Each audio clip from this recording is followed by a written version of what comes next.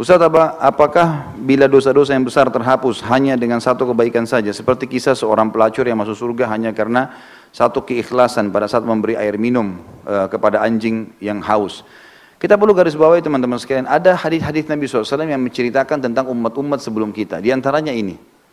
Di antaranya ini. Ada orang yang memberikan minum anjing, seorang bezina. Kemudian akhirnya dia dimasukkan surga. Itu kuasa Allah, rahmat Allah. Tapi sebagian ulama yang saya pernah baca mengatakan ini adalah kisah umat sebelum kita. Dan setiap syariat berbeda-beda kan. Seperti di zaman Nabi Musa alaihissalam ada uh, apa namanya orang kalau mau bertobat bunuh diri. Gitu kan. Allah mengatakan dalam Al-Quran surah Al-Baqarah faktulu anfusakum. Bani Israel di dalam Musa AS dalam dalam ajaran Taurat kalau mereka buat dosa besar zina, riba, mereka kalau mau tobat bunuh diri. Kalau kita nggak ada kan hukum itu. Jadi tidak semuanya ditarik sebagai sebuah hukum.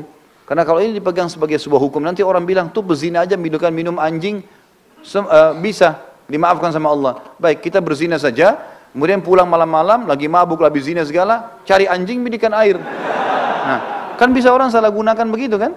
Bisa nggak? Bisa. Jadi kita ambil hikmahnya saja. Oh, yang paling tepat pendapat para ulama mengatakan ini kisah umat-umat sebelum kita dan dalam syariat mereka.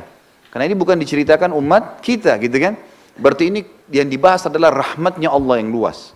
Mudah-mudahan Allah maafkan. Tapi ini tidak bisa jadi tolak ukur teman-teman. Kayak tadi saya bilang. Oh berarti kalau kita satu kebaikan bisa menghapuskan semua dosa kita. Karena jelas sekali syarat dalam Islam ya kalau mau taubat nasuha dari dosa besar kayak zina adalah tiga syarat mutlak. Tinggalkan seketika gitu kan kemudian sesali dan janji sama Allah tidak mengulanginya seperti itulah nah.